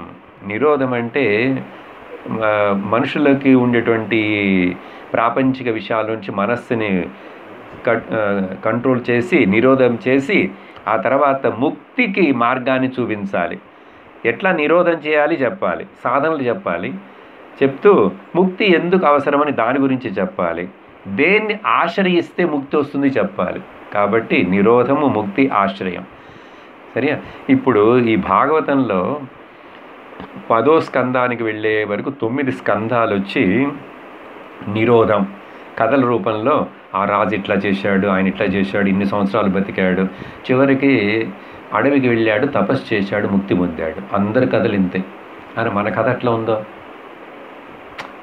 కష్టపడి చచ్చిపోయినాడు. బాధతోటి చచ్చిపోయినాడు. పిల్లవాడిని అనుకుంటూనే చచ్చిపోయినాడు. ఇట్లాగే మన కథలన్నీ ఎవరో కొంతమంది ఆనందంగా సునాయాసంగా చచ్చిపోయారు. అట్లా ఉంటాయి కథలు. ఆ తర్వాత తర్వాత పదో స్కందం ఆ కృష్ణావతారం వచ్చినప్పుడే అక్కడ వచ్చి అది నిరోధ స్కందం. అది విన్నాడంటే ఆ భక్తి అట్లాగే పొంగి వస్తుంది. పరవశమైపోతాడు ఆ తర్వాత పదకొండో స్కందం వచ్చి ముక్తినిస్తుంది. దాంట్లోనే ఉద్ధవ గీత. మన మామూలు భగవద్గీత కంటే పెద్ద గీత దాంట్లో ఉంది. ముక్తి ఆశ్రయ స్కందం. ముక్తి ఆశ్రయం రెండు. అట్లా భాగవతం పరిపూర్ణమైనటువంటి ఒక మహాపురాణంగా ఉంది. ఆ పది విషయాల్ని చెప్పారు. ఆ తర్వాత చూస్తే నేను మూడో అధ్యా మూడో స్కందంలోకి వెళ్ళిపోయాను. మూడో స్కందంలో చిన్న చిన్న కథలు చాలా ఉన్నాయి. ఇక్కడ వచ్చేసి భగవానుడే నారాయణుడు కపిల అవతారం అని ఒక అవతారం తీసుకున్నారు. అందరు వినుంటారు. కపిల గీతనే అక్కడ చాలా పెద్దది అది. ఆయన చాలా మాట్లాడతారు. సాంఖ్యము యోగము భక్తి తర్వాత జ్ఞానం. చివరికి జ్ఞానమే. అమ్మకే ఓకే? దేవహూతి కర్దమ ప్రజాపతి దేవహూతికి భగవాను శ్రీమన్నారాయణ వరం ఇచ్చారు నేనే ఆడపిల్లలందరూ పుట్టిన తర్వాత మగపిల్లవాడుగా నా పుడతానని చెప్పారు. చెప్పినట్లే పుట్టారు. ఎందుకు పుట్టానంటే నా అవతారానికి ఎప్పుడుమే ఒక పర్పస్ ఉంటుంది. లోకంలో బై ద టైం వచ్చి జ్ఞానం ఇవన్నీ కొంచెం కొంచెం మరుగవుతుంటాయి మళ్ళీ. అందుకని నేను మళ్ళీ మళ్ళీ వచ్చి దాన్ని రివైవ్ చేస్తూనే ఉంటాను. అట్లాగే కృష్ణుడిగా వచ్చానని చెప్పాడుగా. అన్ని చోట్ల ఆయన చెప్తాడు. పరిత్రాణాయ సాధూనాం వినాశాయ చతుష్కృతాం అందుకని ఇక్కడ కపిల మహాముని. అయితే చిన్న పిల్లవాడిగా అమ్మ గర్భంలో ఉండి అట్లా పుట్టలేదు. ఒక ఏం చెప్ తమిళ్ళో తోట్రం అంటారు. ప్రత్యక్షమైనారు. ప్రత్యక్షమైన తర్వాత కర్దమ ప్రజాపతి ఆనందపడి ఆయనకి తపస్సుకి వెళ్ళాలని ఆయన ఎప్పుడు తపస్సు తపస్సు తపస్సు అంటుంటారు. చాలా సంవత్సరాలు తపస్సు చేశాడు. ఆయనకి ఇంకా చాలలేదుట. సరే పుట్టిన తర్వాత భగవాన్ కపిలుడు ఏం చెప్తారంటే అమ్మని నేను చూసుకుంటాను. మీరు అడవికి వెళ్ళిపోండి. నన్నే అనుకుంటూ ధ్యానం చేస్తూ ఆ దే శరీరాన్ని వదిలేస్తారని చెప్తే ఆయన నమస్కారం చేసి చిన్నపిల్లవాడని లేదు గురువు గురు స్థానంలో చిన్నపిల్లవాడుకున్న కపిలుడు అందుకని వయస్సు కాదు. జ్ఞానం ఉంటే చిన్న పిల్లవాడికైనా మనం నమస్కారం చేయొచ్చు. గురువు గురు. జ్ఞానం ఉండాలి. ఎంత వయసు ఉన్నా కూడా జ్ఞానం లేకపోతే ఏముంది ప్రయోజనం? అందుకని ప్రదక్షిణం చేసి కర్దమ ప్రజాపతి అడవికి వెళ్ళిపోయినాడు. వెళ్ళిపోతే దేవహూతి అమ్మ వచ్చేసి సరే పిల్లవాడు నన్ను జాగ్రత్తగా చూసుకోయ్యా నాకు కొంచెం నన్ను ఓల్డ్ ఏజ్కి పంపించవాకు ఓల్డ్ ఏజ్ హోమ్కి పంపించవాకు. నాకు బ్యాంకులో కొంచెం డిపాజిట్ అయ్యాయి ఇవన్నీ అడగలే. దేవహూతి అమ్మ అడుగుతున్నది నాకు జ్ఞానం ప్రసాదించు అని. జ్ఞానం ప్రసాదించు. నువ్వు సాక్షాత్ భగవానుడు నాకు తెలుసు. ఇప్పుడు వయసు అయిపోయింది దేవతి అమ్మకి చాలామంది పిల్లలు పుట్టారు. అందరు అయిపోయిన తర్వాత ఇప్పుడు ఆమె అంటుంది నేను ఇంకా ఈ సంసారం ఈ వ్యామోహంలో నన్ను వ్యామోహం పడ పెట్టద్దు. నీ మాయతోటి ఈ సంసారంలో వ్యామోహం పెట్టుకుంటే నాకు నేరుగా నువ్వు జ్ఞానం ఇచ్చేసే ఈ సే ఈ ఈ జీవితం లాస్ట్ అని చెప్పి అడుగుతుంది. అడగకపోతే అమ్మ కూడా పెట్టదు. పెట్టదుగా? అందుకని గురువు దగ్గర పోయి తద్విజ్ఞానార్థం గురుమేవాభిగచ్చేత్ శ్రోత్రియం బ్రహ్మనిష్టం సమిత్పాణి చదివారు కదా ముండకోపనిషత్తులో. భగవద్గీతలో చదివారు. తద్విద్ధి ప్రణిపాతేన పరిప్రశ్నేన సేవయ. అందుకని గురువు ఆధ్యాత్మిక గురు జ్ఞానం. అమ్మ అడిగితే కూర్చోబెట్టి నిదానంగా చాలా విషయాలు చెప్తారు. ఆ విషయాలను చెప్పేటప్పుడు దాంట్లో ఒకటి రెండు మాత్రం మీకు చెప్తాను. ఏ- ఒకటి ఏంటంటే ప్రకృతిని పురుషుని నువ్వు వేరు వేరు చేసి అదే పంచకోశ వివేకం మనం చదివాం వాటిలోనో. ప్రకృతిని పురుషుని వివేకం చేయటం వలన మోక్షం వచ్చేస్తుందని ఒక అధ్యాయం. తర్వాత అష్టాంగ యోగం వాటన్నిటినీ చేయటం వలన క్రమశిక్షణ ఉంటుంది కాబట్టి మనస్సు నిగ్రహం వస్తుంది అని చెప్పి భక్తి గురించి చెప్తారు. భక్తి గురించి చెప్పేటప్పుడు అమ్మా భక్తి అనేది రొమ్మ పెద్దగా ఆర్భాటంగా చేయకూడదు. నాకు నచ్చదు అది. ఆర్భాటంగా గుళ్ళో పోయి ఇన్ని అభిషేకాలు చెప్తారు ఇక్కడ భగవాన్ నేను ఆ శ్లోకాలు చదవట్లేదు. టైం అవుతుందని. చెబుతాడు నీ భక్తి చిన్నదిగా ఉండాలి. చిన్నదంటే సింపుల్గా ఉంటే చాలు. ఏంటంటే నువ్వు భక్తి పేరులో ఇక్కడ ఒక చోట అది అచ్చా విడంబనం అని తిట్ తిడతారు. అచ్చా విడనం అంటే ప్రాపగేషన్ నేను చూసావా ఎంత భక్తి చేస్తున్నాను? గుళ్ళో ఎన్ని పూజలు చేయించాను? ఎంత ప్రసాదం పెట్టించాం? ఎంత పెద్ద మాల? ఎన్ని టెంకాయలు కొట్టాం? ఇట్లాంటివన్నీ నాకు నచ్చవు. వీడు ఇంత చేస్తాడు. ఎదుటి ఉన్న మనిషిలో నా స్వరూపమే నేను ఆత్మగా ఉన్నానని ప్రాణంతో ఉన్న మనుషుణ్ణి జీవుణ్ణి మ వాడు మర్యాద చూపకుండా మా విగ్రహం ఆ ప్రాణం లేనటువంటి ఆ గుళ్ళో విగ్రహాలను అవి పెట్టుకొని వాటికన్నీ ఎన్నెన్నో చేస్తూ అవన్నీ ప్రదర్శన కోసం అందరికి చూపించడం కోసం. అట్లా చేస్తే నాకు అసలు నచ్చదు అది భక్తే కాదు అని చెప్పి అక్కడ ఖచ్చితంగా చెప్తారు. అట్లా చెప్పి మోక్షానికి సాధనాలన్నీ ఏంటని వర్ణిస్తున్నారు. అలా వర్ణించినప్పుడు ఆ లిస్ట్ మాత్రం మీకు చెప్తాను చూడండి ఇక్కడ పద్దెనిమిది విషయాలు ఆ సాధనాలు చెప్పబడ్డాయి. ఒకటొకటి ఏంటంటే మొదట భక్తి భక్తి యోగేన భక్తి ఉండాలి అందరికీ తీవ్ర వైరాగ్యం ఉండాలి ఆ తర్వాత శ్రద్ధ ఉండాలి ఓకే? అప్పుడు సత్యాన్ని ఫాలో ఫాలో చేయాలి శ్రవణం చేయాలి నా కథలన్నీ వింటుండాలి ఎప్పుడు అంటున్నారు. అట్లా చెప్పి సాధకుడు ఇవన్నీ చేస్తూ ఉంటే అన్ని ప్రాణుల్లో నేనే ఉన్నాననేటువంటి భావంతో ఉండాలి. అధిక ప్రసంగం లోక విషయాల్ని మాట్లాడుతూ టైం వేస్ట్ చేసుకోకూడదు వాట్సాప్లో ఫోనుల్లో అని చెప్తున్నారు. బ్రహ్మచర్యాన్ని ఫాలో చేయాలి. తర్వాత మౌనంగా ఉండాలి. ఇక్కడ ఇవాళ పొద్దున సాధన శిబిరానికి కొన్ని ఇన్స్ట్రక్షన్స్ ఇచ్చారు కదా అవే మళ్ళీ వస్తున్నాయి. ఇట్లా స్వధర్మాన్ని చేస్తూ ఉండాలి ఇట్లా. చాలా విషయాల్ని లిస్ట్ ఇస్తారు. సాధనాలు ఇవన్నీ. అవన్నీ జ్ఞాపకం చేసే తర్వాత ఈ భక్తి కూడా ఇట్లా సులభమైన చిన్న భక్తిగా ఉండాలని చెప్పి ఆ తర్వాత కపిల గీత ముగించేటప్పుడు చివరిలో ఏం చెప్తారని చూస్తున్నాను చూడండి. ఆ తర్వాత ఈ సాధనలు ఇన్ని చెప్పినా కూడా ఇవన్నీ ఎందుకు? ఈ సాధనలన్నీ ఎందుకు? అదేంటంటే జ్ఞానానికి ఇవి ఇవన్నీ కూడా మార్గం చూపించకపోతే ఇవన్నీ వేస్ట్. ఇవన్నీ వేస్ట్.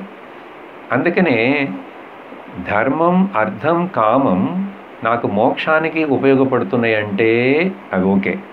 అవి నన్ను వెనక్కి తీసుకెళ్తున్నాయి. మోక్షం అనేది అసలు నాకేంటనే తెలియదు.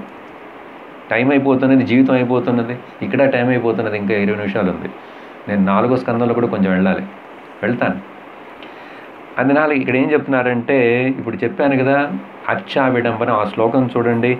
అహం సర్వేషు భూతేషు భూతాత్మ వ్యవస్థి సదా తమ వగ్న తమ మాం మర్త్య.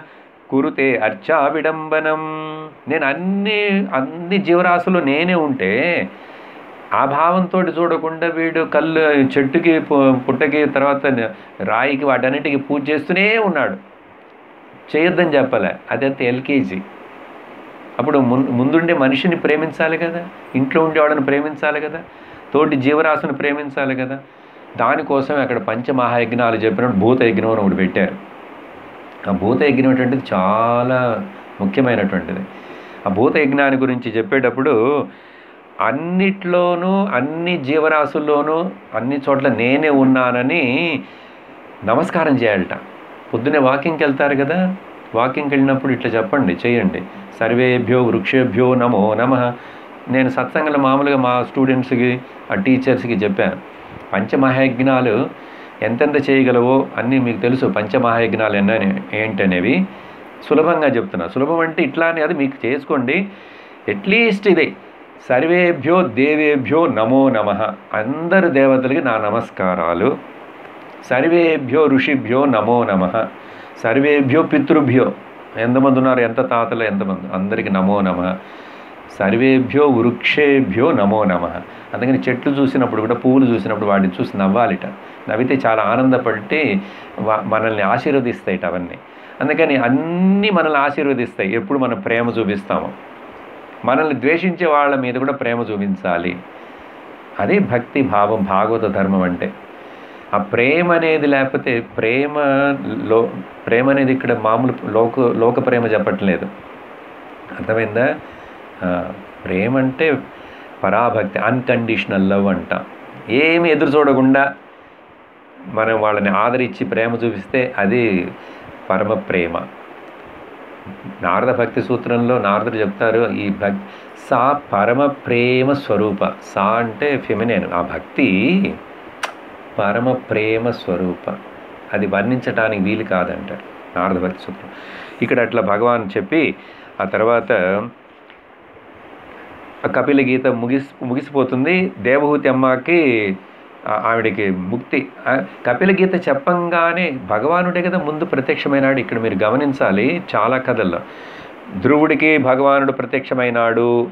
ఏంటి? వెంటనే ఇట్లా హారీ పాటర్ మ్యాజిక్ స్టిక్ మాదిరి ఇట్లా అంటే ముక్తి రాలేదు. ముక్తి రాలేదు.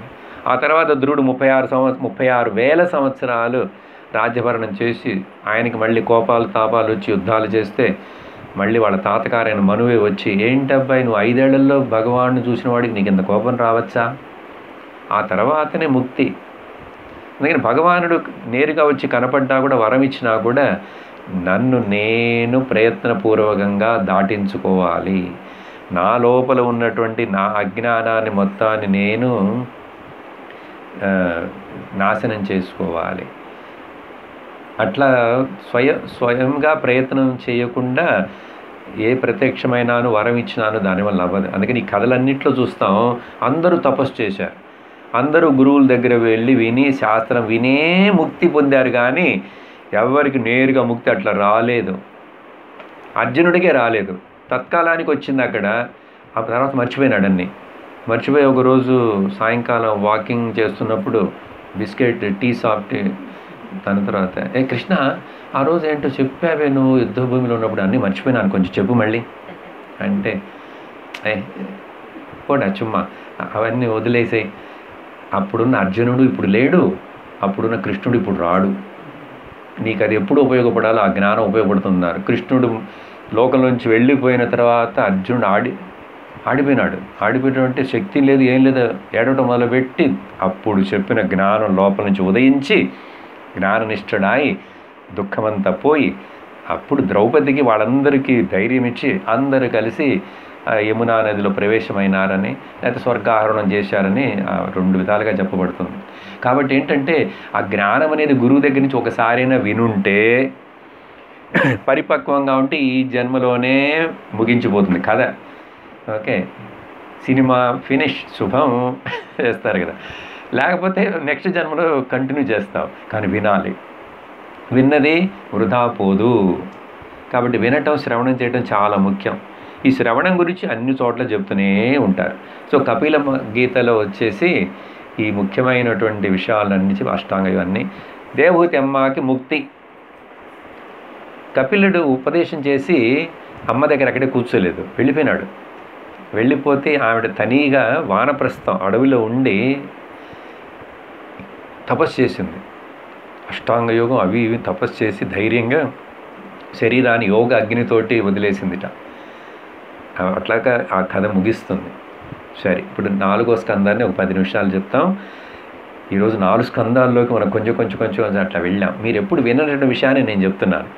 మామూలుగా వినే కథలన్నీ కుచేలుడు ఆ కథ ఈ కథ గజేంద్రన్ టైం ఉంటే చెప్తాను. రేపటి నుంచి స్పెషల్గా. ఇవాళ అసలు భాగవతంలోకి ఎంటర్ అయినాం. విషయం ఎట్లా ఉంటుంది ఎక్కడికి వెళ్ళినా ఎరి- అదే విషయం జ్ఞానం. శ్రవణం గురువు శ్రవణం తపస్సు జ్ఞానం. అంతే. ఇప్పుడు నాలుగో స్కందానికి వచ్చినప్పుడు ఆ నాలుగో స్కందంలో ప్రియవ్రతన్ అనే ఒక పెద్ద రాజా ఉన్నాడు. ఆ తర్వాత పృథురాజా ఈ వీళ్ళందరికి తర్వాత వాళ్ళల్లో వాళ్ళకి పుట్టిన ఒక అబ్బాయి వచ్చేసి ప్రాచీన బర్హి అనేటువంటి ఒక రాజా. ప్రాచీన బర్హి. ఆయన ఏంటంటే పెద్ద కర్మకాండి. ఇక్కడ యజ్ఞం చేస్తే పది అడుగులు కప్పుడు తర్వాత మళ్ళీ అక్కడి ఇంకొక హోమం చేస్తాడు. ఇట్లా హోమాలు చేస్తూ చేస్తూ చేస్తూ ఆయన రాజ్యం అంతా ఎక్కడ చూసినా ఆ దర్భ దర్భలు. ఎందుకంటే యజ్ఞం చేశాడంటే దర్భ అంతా అక్కడ వదిలేస్తాడు అట్లా అట్లా అట్లా ప్రాచీన బరిహి అంటే అర్థం ఈ దర్భ పుల్లుల్ని అట్లాగే విస్తరింపజేసిన వాడని అర్థం. అప్పుడంటే ఎంత కర్మ చేసి చేస్తుండి ఉండాలి అట్లా కర్మకాండలో ఉన్నటువంటి వాడు ఆ కర్మలో చాలా చాలా వాటికి ఏవేవో బలి ఇవ్వటమో ఏవేవో జరుగుతాయి. ఆ రోజుల్లో ఏం చేసేవాళ్ళు? సరే ఆయనకి పది మంది పిల్లలు పుట్టారు. ఆ పది మందికి పేరు వచ్చేసి ప్రచేతసులు. ఓకే? ప్రచేతస్. అందరికి కలిపి ఒకటే పేరు. అదెట్లా సార్? ఎట్లా పిలుస్తాడు వాళ్ళ నాన్న అంటే ఆయన ఎట్లా పిలిచేవాడు మరి? పురాణాలు ఇక్కడ భారతలో ప్రచేతసరులు ఈ ప్రచేతసరులు అందరూ వచ్చేసి number one number two. Number three అని పిలుస్తాడు ఓకే? ఆ వాళ్ళు వాళ్ళ నాన్నగారు బ- ఏం చెప్పారంటే ప్రాచీన బరిహి పెళ్ళి చేసుకోవడానికి ముందే మీరు అందరు వెళ్ళి తపస్సు చేసి ఆ తర్వాత వచ్చి మీరు పెళ్ళి చేసుకోవాలి. చూడండి. పెళ్ళి చేసుకుంటే ముందే విషయాలని తెలుసుకోవాలి. ఆ తెలుసుకున్న తర్వాత పెళ్ళి చేసుకోవడం తప్పు కాదు. తెలుసుకోకుండా చేసుకొని అదో దాంట్లో మునిగిపోతే తప్పు. ఇంకా ఆ తర్వాత తెలుసుకోలేడు టైం ఉండదు. మనందరికైతే అట్లాగే చాలామంది అట్లా అట్లాగే మొత్తానికి ఎట్లాగో భగవానుడు వచ్చి మనల్ని ప్రమోషన్ చేసి గురువు దగ్గరికి పంపించి శాస్త్రాన్ని పంపించాడు. అని అనుకో మన గ్రేస్ మార్కులు ఇచ్చి అన్నీ ఎట్లాగో పాస్ చేసి వెళ్ళు వెళ్ళు అన్నాడు. లేకపోతే మనకు అసలేం తెలుసు? మనంగా అనుకుంటే మనం ఎన్నో డుమ్కి డమ్కిలు అన్నీ అయిన తర్వాత మన జీవితంలో ఎన్నెన్నో తప్పులు చేసి ఎన్నెన్నో అన్నీ అయిన తర్వాత అబ్బా ఇప్పుడు శాస్త్రం వైరాగ్యం వేదాంతం అని ఏదో వచ్చి నిలబడ్డాం. ఇంక ఇక్కడి నుంచి దిగకూడదు అద్దా. అందుకని నాన్ నేను బ్లెస్ నాన్ బ్లెస్డ్ అనుకో కృతజ్ఞ కృతజ్ఞన్ ఐఆమ్ బ్లెస్డ్ అట్లా అనుకుంటే జీవితం సార్థకం అవుతుంది వీళ్ళే వాళ్ళ నాన్న అట్లా చెప్పిన తర్వాత వీళ్ళందరూ వెళ్ళారు తపస్సు చేయడానికి వెళ్ళారు. ఒక మా పుణ్య తీర్థం దగ్గరికి వెళ్ళి జలం కోనేరు. అక్కడికి వెళ్ళి పెద్దది కోనేరు అంటే మన ఊర్లో చిన్నది లాంటిది కాదు. అక్కడికి వెళ్ళే ముందు వాళ్ళకి నారదుల వారు మధ్యలో స సమ్మ కలవటం జరిగింది. నారదుల వారు మీకు శుభం అవుతుంది. మీరు తపస్సు చేయండి. మీకు భగవంతుడే ప్రత్యక్షమై మీకు వరం ఇచ్చి మీకు మనసు శుద్ధమై ఆ తర్వాత మీకు గృహస్థులు అవుతారని చెప్తే తపస్సు చేశారు. ఈ తపస్సు అనేటువంటిది మనుషుడికి జీవితంలో జీవితం తపోమయంగా ఉండాలి. బ్రహ్మదేవుడు పుట్టిన వెంటనే నూరు సంవత్సరాలు తపస్సు చేశాడు. అప్పుడు బ్రహ్మదేవుడే ఆయన కా ఆయన క్యాలిక్యులేషన్ నూరు సంవత్సరాలు అంటే చాలా పెద్దదండి. బ్రహ్మదేవుడే తపస్సు చేశాడంటే మనం చేయొద్దా? నాకు టైం లేదు. ఇక్కడ చూస్తే ఆశ్చర్యపోతారు. వీళ్ళ జీవితాలే ఒక్కొక్కళ్ళు ముప్పై వేల సంవత్సరాలు బతికారు. రాములు వారు పదకొండు వేల సంవత్సరాలు ఏమో చెప్తారు రెండు విధాలుగా. ఆయన రాజ్యభరణం వాళ్ళ నాన్నగారు వచ్చేసి అరవై అరవై వేల సంవత్సరాలట దశరుడికి మరి ఎట్లా? మొత్తానికి ఆ తర్వాత ఏంటి? తపస్సు జీవితాన్ని. తపస్సు అనేటువంటిది జీవితంలో ముఖ్యం. మనుష్యునికే ఈ తపస్సు ఈ భూలోకంలోని ఇవన్నీ కూడా. స్వర్గానికి లేదా తపస్సు చేయటం ఎందుకు? అక్కడ ఊరు రంబసి డా రంభ ఊరుసి డాన్సులు చూడటమే. చూసిన తర్వాత వీసా పుణ్యం అంతా అయిపోయిన తర్వాత కింద పడేస్తారు మళ్ళీ వచ్చేస్తాం. ఇక్కడ వచ్చిన తర్వాత ఇక్కడ జాగ్రత్తగా ఉండి తపస్సు అనేది ఇక్కడే. ముక్తి అనేది ఇక్కడే. జీవన్ముక్తి ఇక్కడ. ఇంకెక్కడా లేదు భూలోకంలోనే. అందుకని ఇక్కడ పుట్టాం కాబట్టి మనుషులుగా తపస్సు చేయకపోతే వాడు జంతువుతో సమానం మనుషుడు అందుకని ఆ తపస్సు చాలా ముఖ్యం. వీళ్ళు తపస్సుకి వెళ్ళమంటే వెళ్ళారు.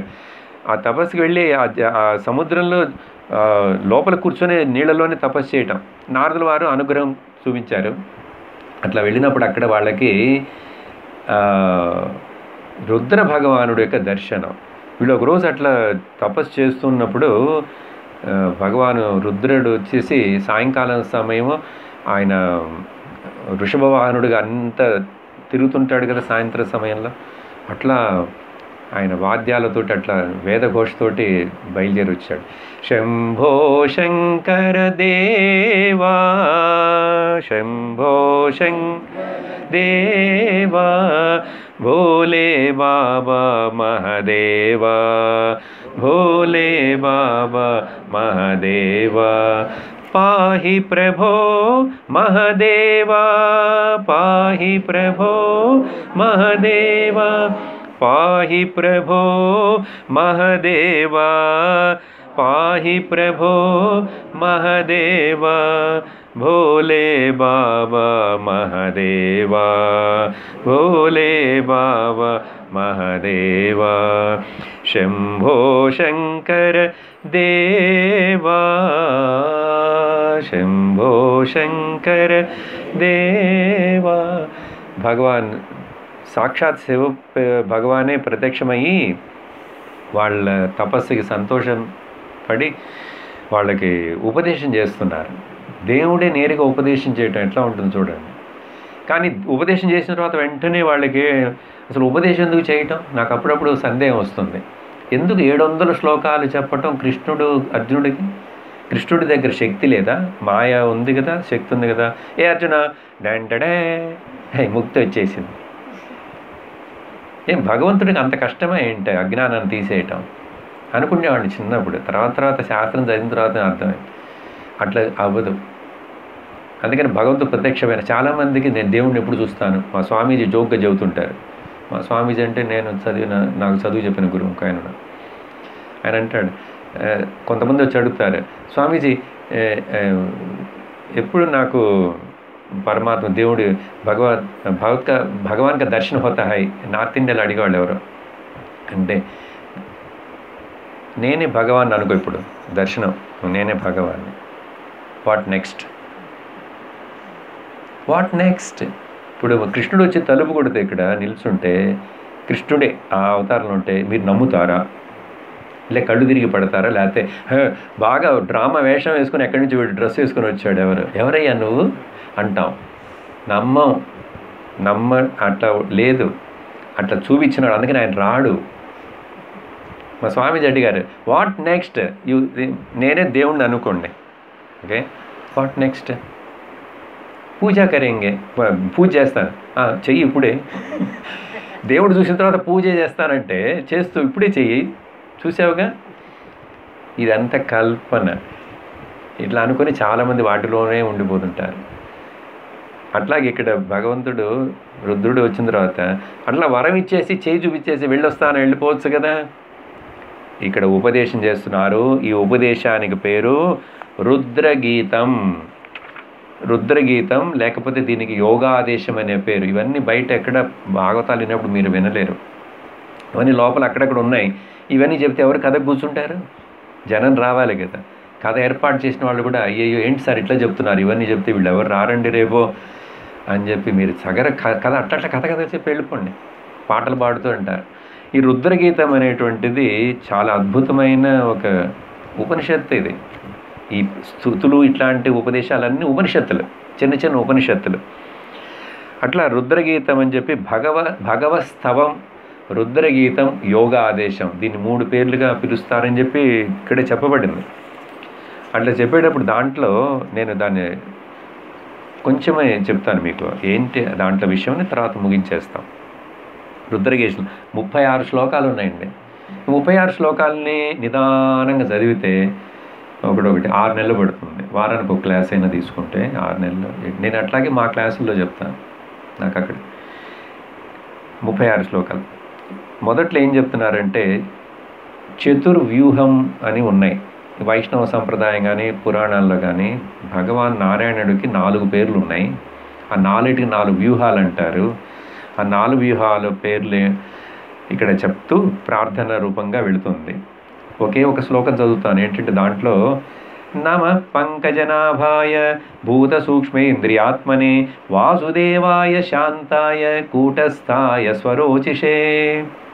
సో ఈ శ్లోకంలో వాసుదేవ చెప్పి రెండో శ్లోకంలో వచ్చి సంకర్షణాయ సూక్ష్మాయ అని చెప్పి దాంట్లో ఇంకొక దాంట్లో ప్రద్యుమ్నాయ అంతరాత్మనే.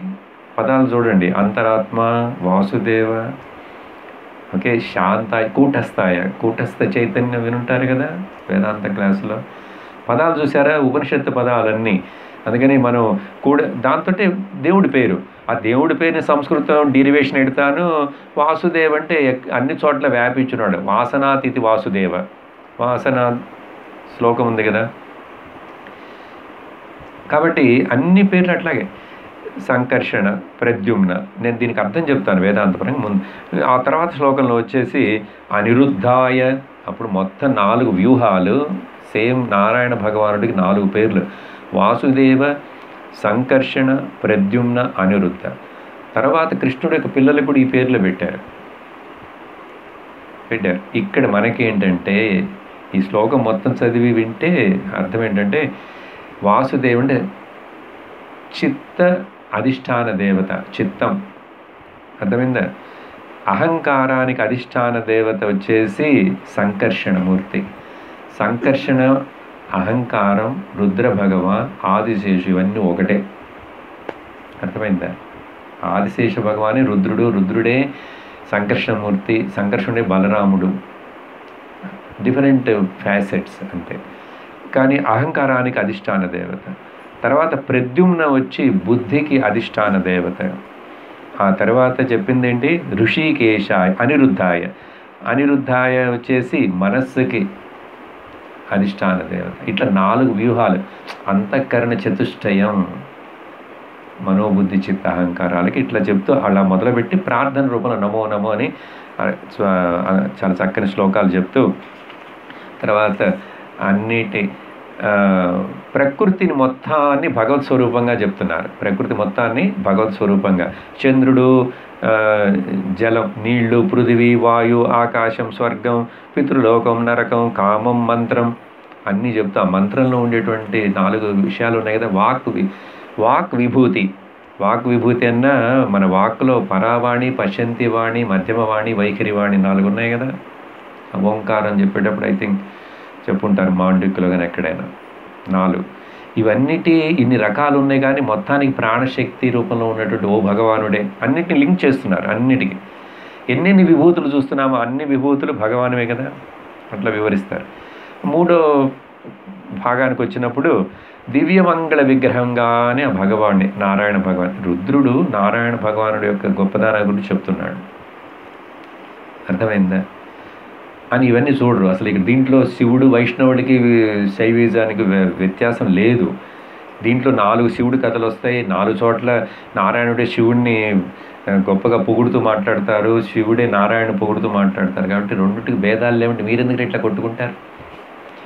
మేము కొట్టుకుంటామండి. మాకు ఆనందంగా ఉందని కొట్టుకోండి. అందుకని అద్వైతం చదివిన వాళ్ళకి అసలు ఏ గోల లేదు. మనం అన్ సర్వం సమ్మతం. ఈ విగ్రహం దివ్యమంగళ విగ్రహం గురించి వర్ణనం చేసి ఆ తర్వాత చివరి భాగంలో రుద్రగీతంలో వచ్చేసి ఏం చెప్తున్నారంటే భక్తి జ్ఞానం. భక్తితోటి ఉంటే మొదట ప్రేమ ఉంటుంది. అప్పుడు మనస్సు నెమ్మదిగా ఉంటుంది. ఆ నెమ్మది అయిన మనస్సుతోటి శ్రవణం చేయాలి. శ్రవణం చేస్తే వైరాగ్యం వస్తుంది. వైరాగ్యం వస్తే జ్ఞానం వచ్చేస్తుంది.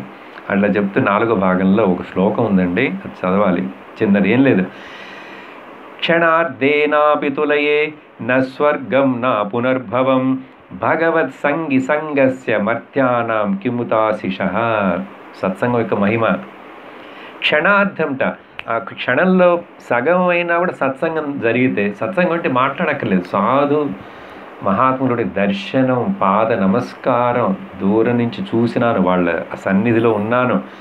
ఇంకా మాటలు వినపడితే ఇంకాను. కానీ ఆ క్షణార్థమైనా కూడా అది పెద్ద మహాభాగ్యంట. దానికి సమంగా స్వర్గము నా పునర్భవం. ఈవెన్ ముక్తి కూడా తర్వాత అసలు అది కానీ నాకు దర్శనం దొరకాలిగా ఆ గొప్పతనం చెప్తున్నారు చూడండి. స్వర్గం కానీ మోక్షం కానీ వీటన్నిటిగా ఇది దీనికి సమం కాదంటారు. భగవత్ సంగి సంగస్య. ఇక్కడ భక్తుల యొక్క భక్తులు అంటే మహాత్ములు సాధులు సన్యాసులు ఎవరైనా కావచ్చు జీవన్ముక్తులు కావచ్చు. అటువంటి వాళ్ళ సంగ ఇది ఈ మనుషులకి దొరికితే దానికంటే మహాభాగ్యం ఇంకోటి లేదు అని చెప్పేసి ఇక్కడ అడిగి అందువలన ఈ సత్సంగం అనేటువంటిది ఉంటే మనుషుడికి ఏమవుతుందంటే మనస్సులో శుద్ధి ఏర్పడము ఏర్పడుతుంది. ఎంత అశుద్ధి ఉన్నా కూడా కొంచెం కొంచెం పోతుంది అని చెప్పేసి రుద్రగీతం ముగిస్తుంది ము- ముగించిపోతుంది. ఆ ముగించిపోయిన తర్వాత దీంట్లోనూ చివర అన్ని వేదాంతమే చెప్పి మళ్ళీ ఆ నేతి నేతి వాక్యం నెగేట్ చేయటం గురించి అన్నీ చెప్పి ఇట్లా చేసి కరెక్ట్ ఆత్మస్వరూపాన్ని తానని తెలుసుకోవాలి. తనే ఆత్మస్వరూపం అని తెలుసుకోవాలని. అన్నిట్లో ఇట్లాగే వస్తుంది. ఆ చివరి నాలుగో స్కంద ముగించేటప్పుడు ఈ ప్రచేతసరుడికి తపస్సు అయిపోయింది. పిల్లలు పుట్టారు వాళ్ళు వెళ్ళిపోయారు. ఎవరు పుట్టారు తెలుసా? దక్షుడు పుట్టాడు మళ్ళీ ఇక్కడ. మధ్యలో చాలా కథలు ఉన్నాయి. దక్షుడికి శాపం. దక్షుడు అక్కడ శివుణ్ణి అవమానించాడు కదా. దక్షుడు మళ్ళీ ఇక్కడ పుడతాడు వీళ్ళకి పిల్లవాడిగా. పిల్లవాడికి పుట్టాడు అదంతా చదువుతుంది. వాళ్ళు పెద్దవాళ్ళు అయిపోతారు. పెద్దవాళ్ళు అయిపోయిన తర్వాత ఇప్పుడు రుద్ర భగవాను చెప్పినది విని తపస్సు చేస్తే నారాయణ భగవాన్ ప్రత్యక్షమై ఆయన ఉపదేశం చేసి ఆ తర్వాత జీవితం జరుగుతూనే ఉన్నది. చాలా సంవత్సరాలు బతికారు. బతికి ఈ ఇద్దరు దేవుళ్ళు చెప్పినటువంటి మంచి విషయాలను మర్చిపోయినట్ట దేవుళ్ళు చెప్పే మర్చిపోతే మా గతి ఏంటండి ఆశ్చర్యంగా ఉంటుంది. అందుకని వదలొద్దు వదలొద్దు వదలొద్దు. పట్టుకో గట్టిగా పట్టుకో. గురువు కాళ్ళను పట్టుకో శాస్త్రాన్ని పట్టుకో. ఇవన్నీ నేను చాలా కొంచెం కొంచెం మీకు వివరిస్తున్నాను. అన్ని శ్లోకాలు అట్లా చెప్పబడ్డాయి. మ- మర్చిపోయినారు. మర్చిపోతే ఏంటి గతి? దేవుడు వచ్చి ఉపదేశం చేసిందే మర్చిపోయినారట. ఏమైంది చివరికి చూడండి. లాస్ట్కి వచ్చేసాము. ఓకే అయిపోయింది టైం ముగించా. నారదులు వారు మళ్ళీ వచ్చారు గురువుగా. చూసారా? ఆయన పనే ఇది. అందరికి మధ్య మధ్యలో వచ్చి అక్కడక్కడక్కడ ఈ చేస్తుంటాడు. అందరిని మళ్ళీ మళ్ళీ మార్గాన్ని తిప్పేసి డైరెక్షన్ కరెక్ట్ చేసి పెడుతుంటాడు. రైట్ డైరెక్షన్ వెళ్ళి రైట్ ఉపదేశం. ఆ నారదవ అనే దర్శనం అయినా అడిగారు అక్కడ వాళ్ళు. ఆయన స్వామి అన్నీ మర్చిపోయినాం. ఇద్దరు దేవుళ్ళు చెప్పి మర్చిపోయినాం. Okay sorry. మళ్ళీ ఒకసారి మాకు వయసు అయిపోయింది వాళ్ళకి అప్పుడు. మాకు చెప్ప అప్పుడు నారదుల వారు మళ్ళీ ప్రచేసరువి ఇదే వేదాంత ఉపదేశం. అప్పుడు వాళ్ళు వానప్రస్థానికి వెళ్ళి అడవికి వెళ్ళి తపస్సు చేసి వాళ్ళు ముక్తిని పొందారు. అది గురు ఉపదేశంతో ఆత్మజ్ఞానం వస్తే తప్ప ముక్తి లేదు అని మనం అర్థం చేసుకోవాలి. రేపు ఇట్లా కాకుండా నేను ఒకే ఒక కథ తీసుకొని అక్కడేం జరిగింది కూడా చెప్తాను. ఇవాళ మీకు జస్ట్ నాలుగు స్కందాలు. ఒక పుస్తకం అయిపోయింది. అంటే మా నా దగ్గర ఉన్న పుస్తకాలు. ఆ తర్వాత రేపు మొదలవుతుంది రేపు చూస్తాను టైం అయింది చివరిగా ఆనందంగా అందరం బయలుదేరి రూములకి వెళ్ళి పడుకుంటాం కాబట్టి ఒక భజన చెప్పేసి ఓమానందం ఓమానందం ఓమానందం ఓమానందం ఓమానందం సచ్చిదానందం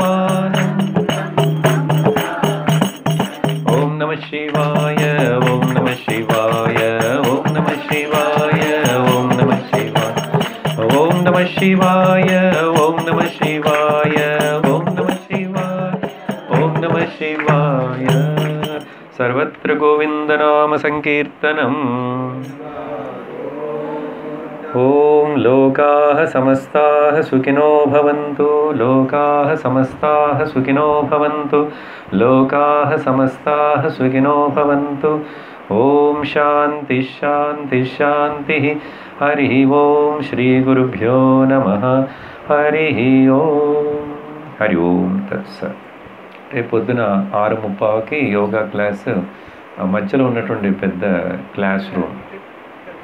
ఏమా ఇటువైపు? సారీ ఇటువైపు నేను. ఇక్కడ ఎదురు గుడికి పక్కన ఒక బిల్డింగ్ తర్వాత అక్కడ ఉంది కదా ఆ దోవల మధ్యలో అక్కడ. ఆరు ముప్పా కన్వీనియంట్ డ్రెస్ ఉన్నా లేకపోయినాను పర్వాలేదు.